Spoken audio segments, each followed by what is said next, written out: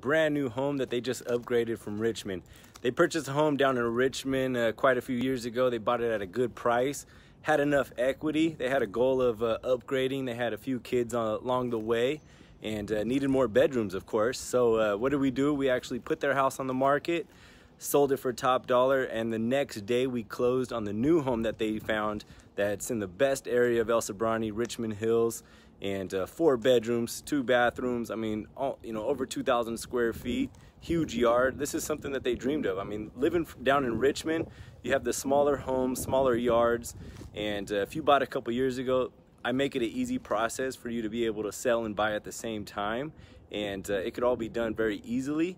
And uh, it could be a daunting task, but uh, it's possible. So why stay living uh, in the house that you're not in love with and get you into the house that you do love?